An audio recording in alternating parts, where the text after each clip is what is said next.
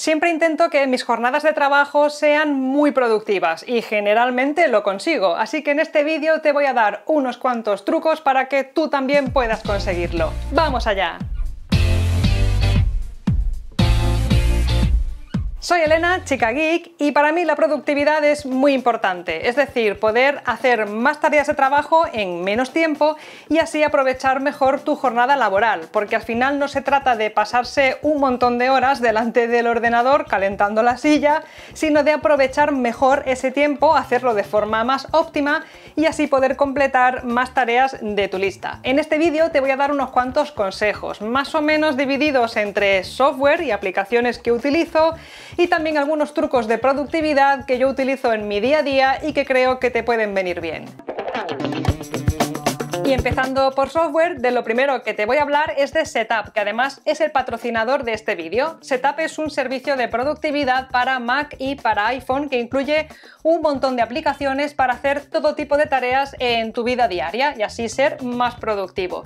La gracia de Setup es que todas esas aplicaciones son de pago, pero tú únicamente pagas una sola cuota mensual y con esa cuota única tienes acceso a todas las aplicaciones incluidas en su catálogo, que créeme, son un montón, tienes muchísimas para elegir. Además es una colección que es muy fácil de gestionar, se instalan y desinstalan con un clic, se actualizan automáticamente y hay un par de cosas que me gustan especialmente de Setup. Primero el buscador, porque además de localizar aplicaciones por nombre, si lo conoces, también las puedes localizar por tareas. Si por ejemplo quiero editar fotos, pues me encuentra aplicaciones que sirven exactamente para eso. Y otra cosa que me gusta también son las colecciones, que son como packs temáticos de aplicaciones en torno a una profesión en concreto, a una tarea en concreto, a un tipo de usuario, pues por ejemplo para programadores, para, para diseñadores, para editores de vídeo, etcétera. Las tienes aquí organizadas por temática y así es mucho más práctico para instalártelas y usarlas. Y ojo porque ahora hay una oferta especial en Setup que son las 10 semanas de productividad. Si te creas una cuenta en el servicio de Setup entre el 18 de abril y el 20 de junio, que son esas 10 semanas de productividad, en vez de tener una prueba de 7 días, tu versión de prueba será de 14 días, el doble de tiempo para poder probar Setup, poder ver todas las aplicaciones que incluye, probarla con tiempo de sobras y así decidir si te sale a cuenta suscribirte a este servicio o no. Te dejo un enlace en la descripción con toda la información para que puedas evaluarlo y te animo a que lo pruebes porque 14 días gratis la verdad es que está muy bien. Además de las aplicaciones de Setup que te acabo de enseñar, otras dos aplicaciones que utilizo en mi día a día son Trello y Google Calendar. Trello es como una especie de tablero de ideas virtual que sirve para organizar todo tipo de proyectos. La idea de Trello es que tú ese proyecto lo dividas en diferentes categorías, que son las listas que aparecen en el tablero, y dentro de cada una de esas listas puedes crear tarjetas y cada tarjeta corresponde pues a una tarea, a una idea, a un concepto, etcétera. Depende del proyecto que estés organizando. En mi caso, como utilizo yo Trello, es que tengo un tablero con todas las ideas que tengo pensadas para vídeos que voy a hacer en el futuro. Las tengo clasificadas por categorías según el tipo de vídeo que sean. Pues una para eh, tutoriales y trucos, otra para vídeos donde hablo de aplicaciones, otra para las reviews que hago de hardware, de móviles, tablets, etcétera. Y en cada una de ellas pues creo una tarjetita con una idea para un vídeo individual. A esas tarjetas además luego les puedes añadir un montón de información. Puedes poner enlaces para complementar eh, la información que tengas, imágenes, comentarios. De hecho, el tablero lo puedes compartir con más gente para que varias personas puedan acceder a la misma información si se trata de un proyecto colaborativo.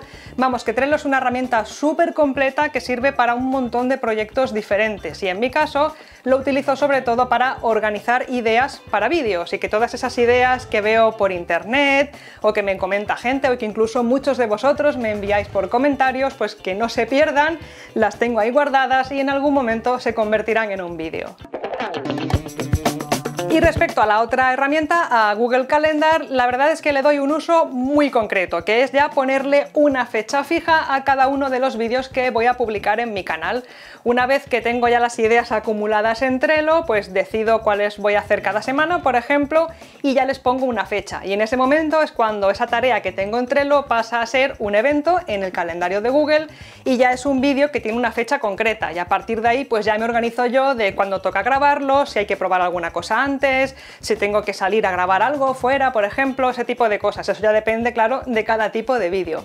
Lo que me gusta de Google Calendar es que de un vistazo puedes tener muy claro, eh, al menos en mi caso, eh, cómo tienes organizado el día, la semana o incluso el mes. Puedes ver pues qué día toca cada vídeo, cuánto tiempo falta para que salga un vídeo que ya tienes planificado para tal día e incluso además a veces utilizo códigos de colores para marcar si un vídeo todavía no está grabado, si está en proceso de edición y si ya está publicado, de forma que ya con solo un vistazo tengo exactamente claro dónde está, en qué proceso está cada vídeo y cuánto queda por hacer de alguno que otro que tenga pendiente. En general me gusta trabajar con aplicaciones que funcionen con la nube, vamos, que sincronicen contenido online y así puedan ser accesibles desde cualquier dispositivo, no solamente desde el ordenador con el que suelo trabajar cada día, sino también, por ejemplo, pues desde una tablet o incluso desde el propio móvil. Aquí, como veis, pues tengo mi aplicación de Google Calendar con todas las ideas eh, de vídeos que ya tengo fecha y que también se veía antes en el ordenador, pues también las tengo aquí en el móvil y las puedo consultar en cualquier momento. Y lo mismo con Trello. Aquí también tengo el tablero que os enseñaba antes, pues con todas las listas, las tareas, las diferentes fichas. Puedo organizar el trabajo igual, las puedo cambiar de orden, las puedo editar, etcétera. Esto me gusta mucho porque así realmente puedo trabajar desde cualquier sitio y aunque me pille fuera de casa, si necesito hacer cualquier cosa en el calendario o en Trello, lo puedo hacer directamente desde el móvil.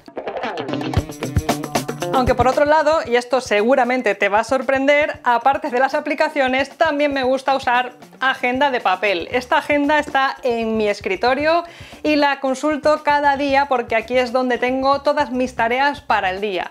Las aplicaciones que te he enseñado están muy bien para organizar eh, todo el trabajo referente al canal y referente a la publicación de vídeos, ideas para vídeos y vídeos con su fecha ya programada. Pero en la agenda tengo muchas más cosas pendientes. Tengo reuniones, tengo emails que tengo que responder, tengo tareas de redes sociales, de colaboraciones, de entrevistas, en fin, un montón de cosas que ya se escapan a lo que es el universo del canal de YouTube y de las que también tengo que hacer seguimiento.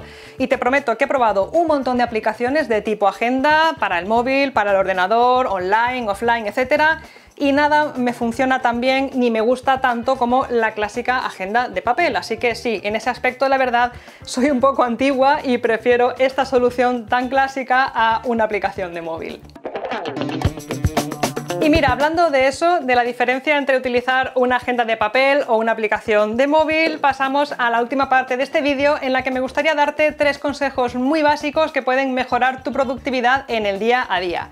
El primero es que busques el método para planificar y para gestionar tu trabajo que mejor te vaya. No te dejes llevar por las modas, porque todo el mundo utiliza Trello o todo el mundo utiliza Slack o Notion o aplicaciones que se ponen muy de moda para estos objetivos. Si a ti lo que te va bien es un trozo de papel con un bolígrafo al lado del teclado, pues utiliza eso y ya con eso te organizas el trabajo estupendamente, tienes todas tus tareas bajo control y sientes que tu jornada laboral es realmente productiva. Hablando de jornadas laborales productivas, es muy importante planificar bien, ya sea con una aplicación de móvil o con una agenda de papel o con el método que hayas elegido, porque es el que mejor te funciona a ti. Es muy importante, pues eso, tener una buena planificación y saber a qué vas a dedicar tu jornada laboral. Yo normalmente la agenda me la hago el día anterior por la tarde. Cuando acabo la jornada de ese día, las tareas, eh, paso a la página siguiente en mi agenda y planifico un poco cómo va a ser el día siguiente, el vídeo que tengo que grabar, los emails que tengo que responder, las cosas que tengo que gestionar, etcétera. Todo eso me lo apunto ya por la tarde y así al día siguiente, por la mañana, después de desayunar, cuando me siento en el ordenador, ya sé perfectamente lo que tengo que hacer. Si por la tarde estás muy cansado y no te apetece, que oye, lo entiendo, pues al menos dedica los 15-20 primeros minutos de cada jornada a planificar tu día y así tendrás bien claro qué es lo que tienes que hacer, cuáles son tus tareas más importantes y cómo distribuir todo el tiempo que tienes para ellas. Y una vez ya te pones a trabajar en esas tareas que has planificado en tu agenda o en tu aplicación o lo que sea, por supuesto, hay que centrarse en esas tareas. Para ello, pues hay diferentes métodos de productividad. Está el método Pomodoro, por ejemplo, que hemos hablado antes de él brevemente. Y luego una cosa que yo te aconsejo sí o sí, que es súper básica, es poner el móvil en modo no molestar. Yo antes lo hacía solamente cuando grababa los vídeos, cuando estoy grabando pues siempre lo tengo en no molestar, claro, para que no me entre ninguna llamada, ningún mensaje, ninguna notificación que pueda interrumpir la grabación, que es muy rollo, la verdad. Pero lo cierto es que últimamente cada vez lo pongo en no molestar durante más tiempo, sobre todo durante mi jornada de trabajo, porque a veces necesito concentración para otros temas, aunque no sea grabar un vídeo, y oye, el móvil está todo el rato, pues que sin mensajitos, notificaciones, avisos, etcétera, y puede ser realmente una fuente de muchas distracciones. Así que te aconsejo que pongas el modo no molestar, al menos para esos periodos de concentración máxima que necesites, y seguro aprovechas el tiempo mucho mejor. Y otro consejo, antes de que se me olvide es que si sueles trabajar con Gmail, con el correo electrónico de Google, si lo, lo, utilizas como herramienta de trabajo, si sueles recibir tareas en forma de correos electrónicos, no te puedes perder este vídeo que hice con trucos para ser más productivo cuando utilizas Gmail. Un vídeo con 7 trucos que te ayudarán a aprovechar mejor tu tiempo si Gmail es para ti una herramienta de trabajo. No te lo pierdas. Como siempre, muchas gracias por tu atención y nos vemos en el siguiente.